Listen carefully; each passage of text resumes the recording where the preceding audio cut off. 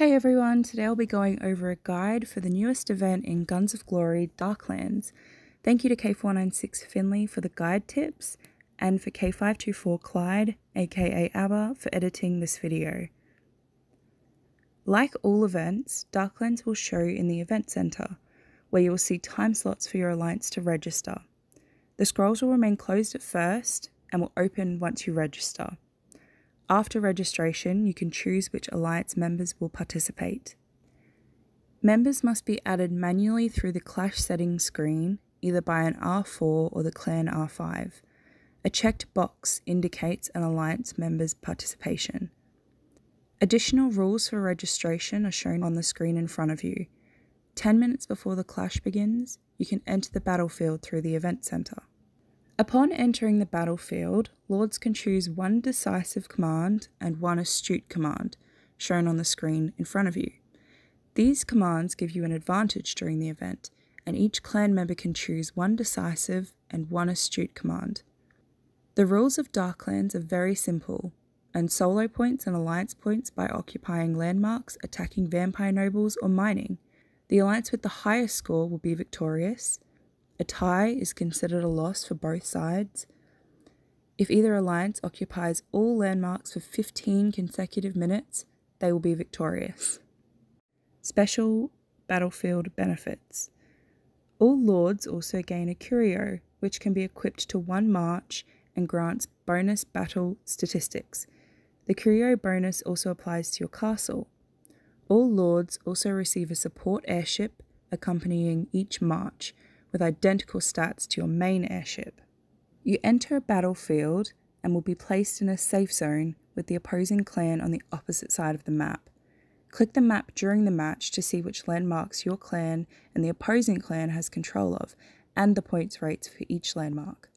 Keep in mind that players can send troops to up to five landmarks at a time, so be strategic with which landmarks you choose to conquer. Each landmark gives different amounts of points while under Alliance control.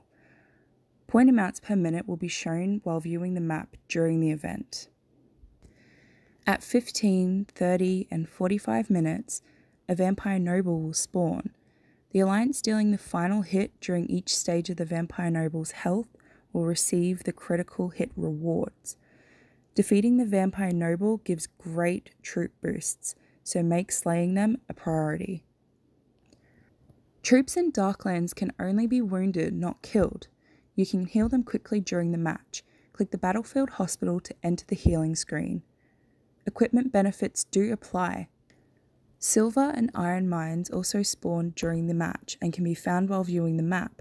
Gathering at these mines will also earn solo and alliance points.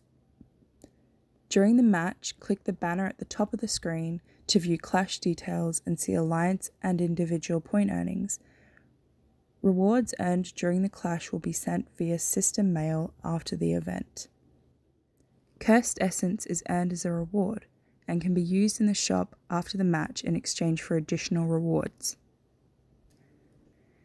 Additional tips During the last 10 minutes of the clash, time landmarks and mines will produce double the amount of points, so make sure to fight extra hard until the end.